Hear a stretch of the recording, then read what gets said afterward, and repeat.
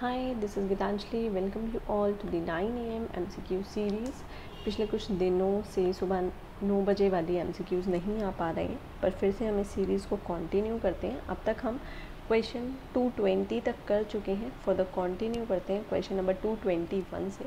इस क्वेश्चन को स्टार्ट करने से पहले मैं आपको बताना चाहूँगी कि अगर आप हमारे paid courses paid legal services paid notes purchase करना चाहते हैं तो आप नीचे दिए गए नंबर्स पर कांटेक्ट कर सकते हैं या फिर आप हमारी वेबसाइट भी विज़िट कर सकते हैं। तो चलिए स्टार्ट करते हैं question number two twenty one से। क्वेश्चन आपके सामने है, मुझे एक मिनट दीजिएगा।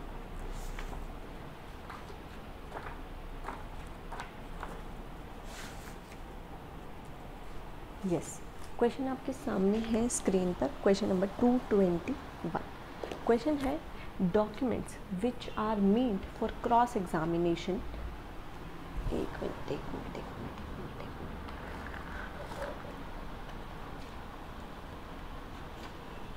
minute. Yes documents which are made for cross examining a witness of the other party और made for refreshing the memory of witness may be produce ये कहते हैं एक ऐसा डॉक्यूमेंट है जिसको आपने दूसरी पार्टी के विटनेस को क्रॉस एग्जामिन करने के लिए या फिर मेमोरी को रिफ्रेश करने के लिए यूज़ करना है तो ये किस टाइम पर प्रोड्यूस किया जाएगा? तो ज़मीन की रिक्वायरमेंट होगी, ये तब प्रोड्यूस किया जाएगा। आंसर होगा यहाँ पे ऑप्शन नंबर सी नेक्स्ट है question number two twenty two a document can be received at later stage अगर लेटर स्टेज पर कोई डॉक्यूमेंट आया है उसके लिए नीचे दिए गए ऑप्शन में से क्या करेक्ट होगा? If the genuineness of the document is beyond doubt and is relevant to decide the real question in controversy later stage पे ऐसा डॉक्यूमेंट आ सकता है।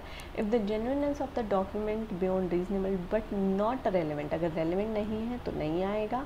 If the genuineness of the document is dispute and not relevant relevant नहीं है तो नहीं आएगा, ठीक है? तो यहाँ पर होगा आपका option number A correct next 223 original document can be return to the party producing it original document वापस कर दिया जाएगा। कब? कब वापस किया जाएगा ये? After the suit is over suit over हो गया तो पर अपील में गए तो इसलिए फ़र्स्ट नहीं होगा। After the disposal of the appeal if preferred after the period of limitation for filing of the appeal if no appeal is preferred appeal का टाइम निकल गया। टॉक कोर्ट डॉक्यूमेंट रख के क्या करेगी? वापस कर देंगे। Next question number two twenty four question है during the pendency of the suit to a party producing the document suit pending है, कोई पार्टी कोई डॉक्यूमेंट को लेकर आ रही है, ठीक है? The original document admitted in the evidence can not be return नहीं, गलत है। The original document admitted in evidence can be return on producing the certified copy there of for example कोई आधार कार्ड है। फोटोकॉपी कोर्ट में लाए, original दिखाए, original वापस चला जाएगा और फोटोकॉपी फ़ाइल पर रह जाएगी।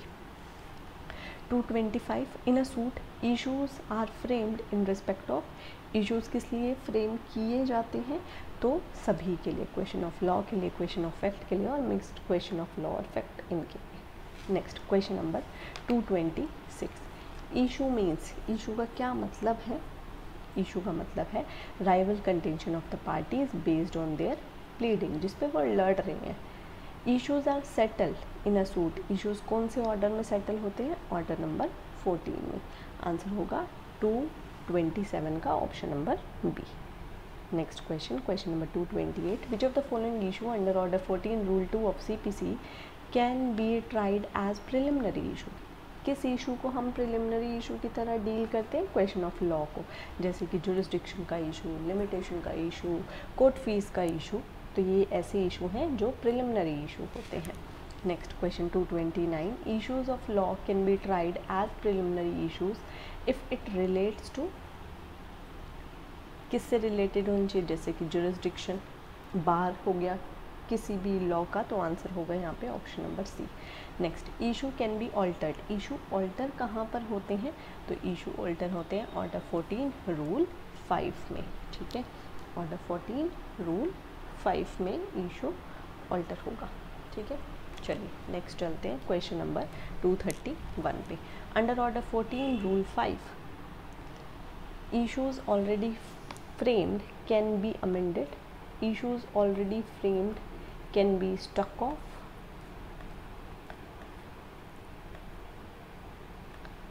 Additional issues can be framed all of the above देखिए, जहाँ पे हम ऑल्टरेशन की बात कर रहे हैं तो वहाँ पे सब कुछ कम कर सकते हैं, ला भी सकते हैं और हटा भी सकते हैं। तो आंसर होगा option number D all of the above next list of witness must be file list of witness कब फ़ाइल की जाती है? तो ये फ़ाइल की जाती है आफ्टर फ्रेमिंग ऑफ़ इश्यूज़ पहले इश्यूज़ फ्रेम होंगे, तभी तो पता चलेगा कि कौन कौन किस किस इशू को प्रूव करने के लिए आ रहा है। इसलिए जो लिस्ट ऑफ़ विटनेस होती है, वो इशू फ्रेम करने के बाद आती है।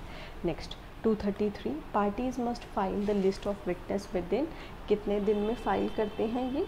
तो ये फ़ाइल करते हैं within fifteen days answer होगा यहाँ पे ऑप्शन नंबर बी ठीक है? Next question question number 234 court has power to summon a person who is not called by any party as a witness किसी पार्टी को court के पास power है समन करने के लिए, जिसे विटनेस जो कि पार्टी नहीं है, उसे विटनेस बुलाना है। तो ये कहाँ पे दिया गया है हमें?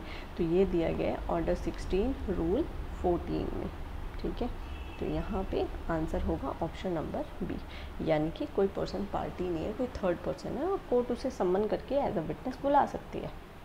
एडजॉनमेंट कैन बी ग्रांटेड सत्रह में ग्रांट होती है, पर रूल कौन सा है? आजकल एग्ज़ाम में ये बहुत पूछने लगे हैं रूल्स तो रूल वन में order seventeen rule one next question number two thirty six when on the day to which the hearing of the suit is adjourned the parties or any of them fails to appear date लगा दी adjournment हो गई। पर उस दिन भी अगर नहीं आते हैं तो क्या होगा?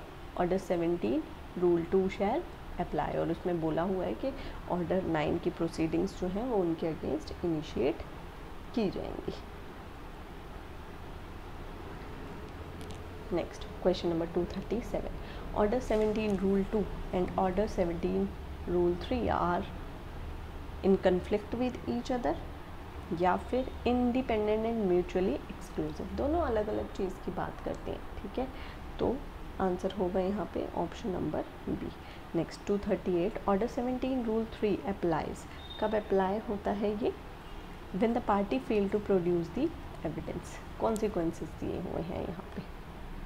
Next question number two thirty nine who shall produce the evidence first कौन लेकर आता है सबसे पहले एविडेंस तो प्लेंटिफ आंसर होगा option number next question where a party wishes to appear as a witness as a general rule अगर कोई पार्टी विटनेस की तरह अपियर होना चाहती है तो जनरल रूल क्या है?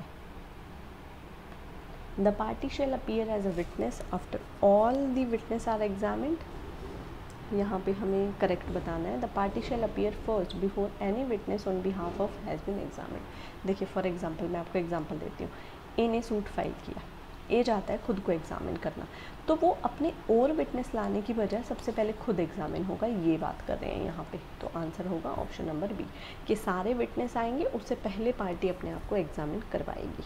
और जनरली आप क्रिमिनल केस भी देखेंगे, या कई कई कोर्ट में क्या प्रैक्टिस चलती है कि कोर्ट खुद से जो स्टार विटनेस होते हैं या कंप्लेनेंट जो होते हैं ना, उनको पहले एग्ज़ामिन करवाती है। ताकि कहीं बाद में पता चले कंप्लेनेंट ही हॉस्टाइल हो जाए, फिर हम क्यों कोर्ट का टाइम वेस्ट करें? ठीक है? इसलिए।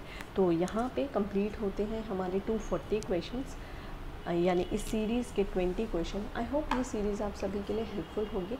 उसके साथ ही आप मुझे कमेंट सेक्शन में बता सकते हैं अगर आपकी कोई सजेशन या ओपिनियन है। आज के लिए बस इतना ही। मिलते हैं कल सुबह नौ बजे।